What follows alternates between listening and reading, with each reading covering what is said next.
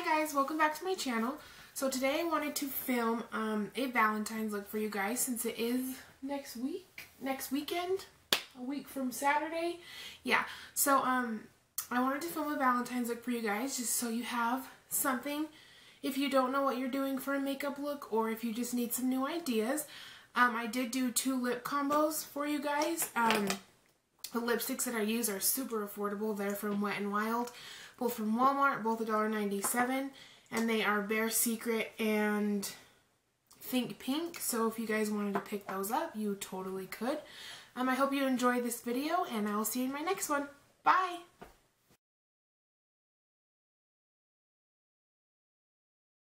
So to get this look started, we are going to start off with a quick bun. I chose to do a bun for this look because I believe that it is very elegant and I think it looks beautiful on anybody and it will complement any outfit. I'm going to go ahead and spray my hair with some coconut water just to get it wet so I can slick it back more.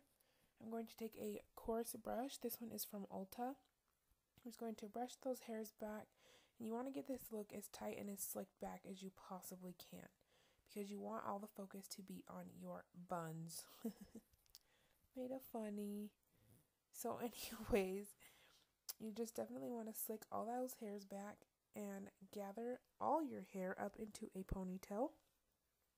What I'm going to do now is I'm going to take a more coarse brush because um, it has thicker and rougher bristles, so it really smooths my curls back and makes this look more, look look more polished.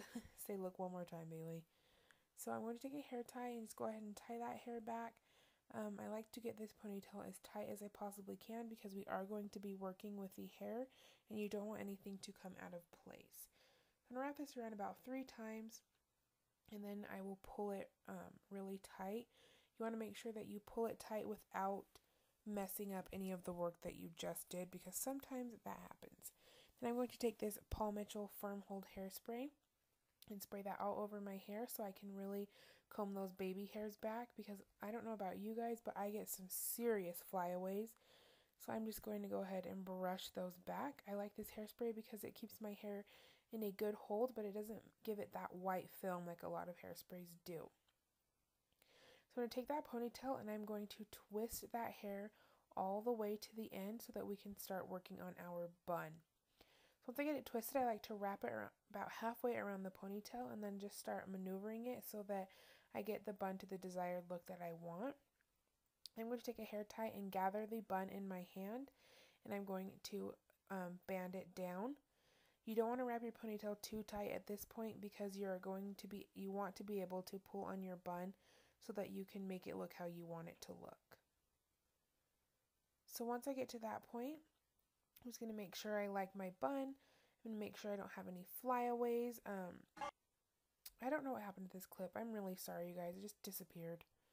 So, um, anyways, I am going to prime my face with the Smashbox Photo Finish uh, Face Primer. I do love this primer. It's awesome.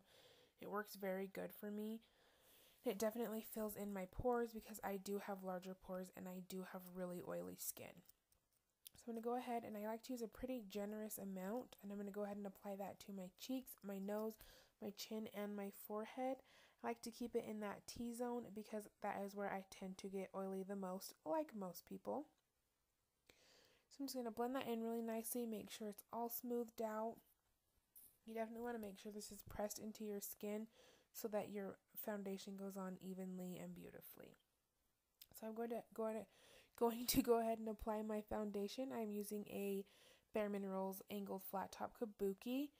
Um, I am applying the foundation. Ooh, I think it's a Revlon Color Stay. I don't remember what shade it is, but I did mix it with the Kat Von D um, Tattoo Foundation to give me a perfect shade. I do like to blend it down my neck because I am such a hard color to match. So I like to keep it on my neck too so that I look flawless. So I am going to apply the Bare Minerals um, makeup base to my eyelids and then I'm going to start blending out with a Sigma F80 some Benefit Hoola.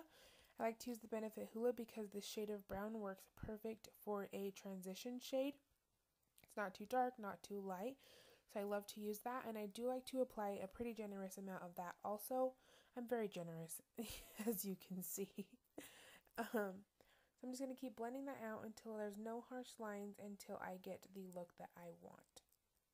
You just want to keep blending and you can sing while you do it. so I'm just going to blend that out. Then I'm going to take this hot pink shade from my artistic palette which I got off eBay a couple years ago. I believe it was $20. I do like the shades in it. It is just a cheap palette, but it does work good for days like this when you need some bright colors. So I'm taking the Urban Decay Naked 3 palette brush to apply this pink shadow and you want to pack that all over your lid. You do want to keep this pink shadow dense because you are going to be blending it out and you want to try to keep as much color as possible. You want to take this pink shadow up into your crease because like I said, we are going to be blending that out and you want to be able to put that transition shade to use. So I'm going to take with my Sigma F80 the Lorac eyeshadow in the shade Mango. I'm going to blend that into my crease so that I get that um, smoked out look and we don't want any harsh lines at all. Like I said, you want to make sure your pink is packed on there pretty densely because you are going to be taking this dark brown shade, which is also a Lorac shadow. And you want to apply that into your crease with a defining brush. My defining brush is from Eco Tools. I like to apply this in a V on my eye to take it from the outer corner down to my lash line and then up into my crease so that I get that nice smoked out look. Um, I'm going to just nicely pack this on there and the reason why I'm pressing is because I don't want it to come off too harsh. I just want it to be that light shade of brown because you don't want to take away from that pink shade that we already packed on there. So once I get that on there, then I'm just going to blend it out. I'm going to do the same to the other eye, of course. Why wouldn't we? So after I get that blended out, I'm going to take the brush that I used to apply the pink shadow with no more product on it, and I'm just going to go ahead and touch up that pink because like I said, you do lose some of that color when you blend it out. So I'm going to take my e.l.f. liquid liner and do a pretty dramatic um, wing liner because it is Valentine's Day and we do want to look awesome. So going to go ahead and wing that liner out. I like to keep it more dramatic than I usually do because like I said, it's Valentine's Day and I think I've said like I said a million times in this video. But I'm going to take the Tarte Gifted Mascara and just apply that to my lash lashes so we can put on our falsies. The false lashes that I'm using are from the Kiss line. They are the Easy Ever Easy lashes in the 003. You can get these at Walmart, Target, CVS, any drugstore. I believe they sell them at the dollar store as well. And I do love these lashes and they are super affordable and they do come with a cool little tweezer tool, which I did not use, but they do come with that. So now we're going to start on our waterline and I am going to use this um, gray liner from Wet n Wild. I like to use this gray liner because I feel like the black would be too harsh and I didn't want to use brown because my browns are shimmery so I figured why not use some gray. So what you want to do is you want to go from your outer waterline and just to the middle of your eye. The reason why we're going to the middle of the eye is because we're going to be smoking this out and I figured that if I go clear to my inner corner it is going to be a little bit more harsh and take away from that pink. And I didn't want to do that because we do want the pink to be the main focus of this look. So I'm just going to apply a little bit more of that liner just to darken it up a bit so that when I smoke it out, we still keep some of that gray in there without taking it away. So after I do that, I'm going to blend that out with my trusty digits. I do like to use a brush, but I feel like the brush sometimes takes away too much color because um, I do use, I try to use a shade on the brush and eyeshadow, but if I don't want to, I'll just use my finger. So to highlight, I am using the NARS Radiant Creamy Concealer in the shade Custard. And to set my face makeup, I am using the e.l.f. Um, mattifying powder and a Stila brush. No, a Mally brush.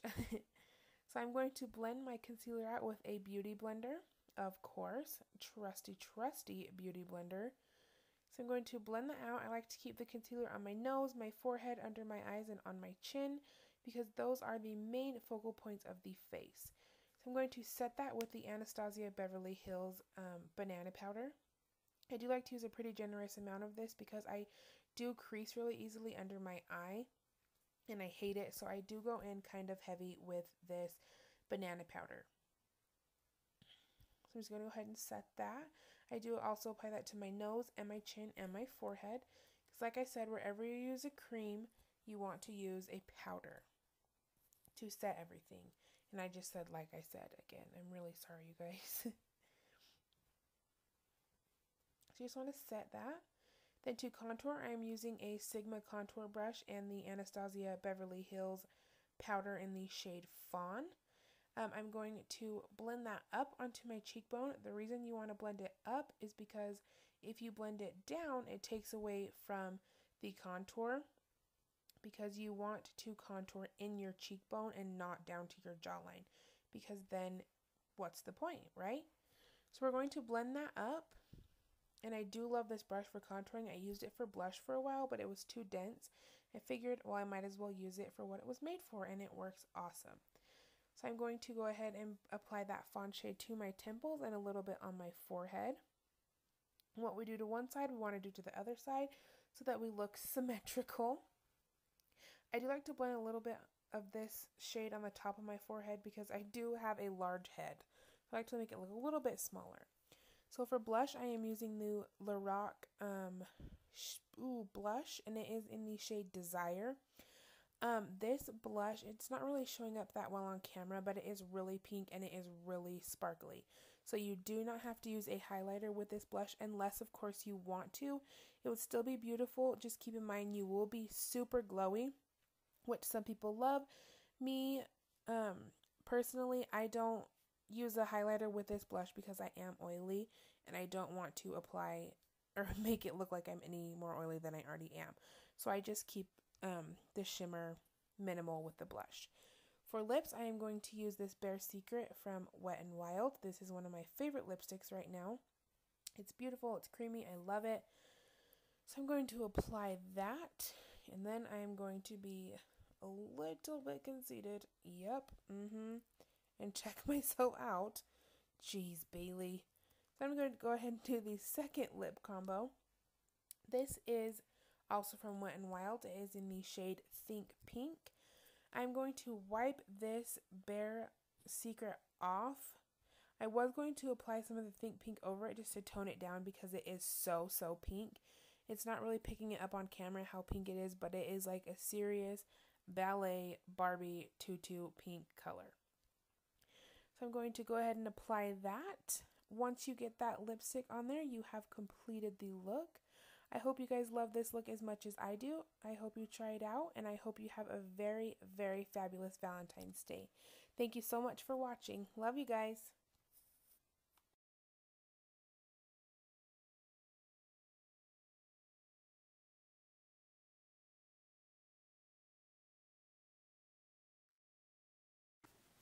So this is it for the final look. Um, I hope you guys like it, and I hope you guys try this out. Um, I included the hair too, just in case you guys needed something to do, just a quick bun. Um, generally, for Valentine's Day, I think I would straighten my hair. I probably would leave it straight. But I threw it up today, and um, I really like it. I like how this look turned out. It's really pink. Um, I'm thinking about doing a more subtle look. Um, I think I will do that. So if you guys want to keep an eye out for that, it'll probably be up on Friday or sometime next week just so you guys have two different looks for Valentine's Day. Um, I hope you enjoyed this video. Bye!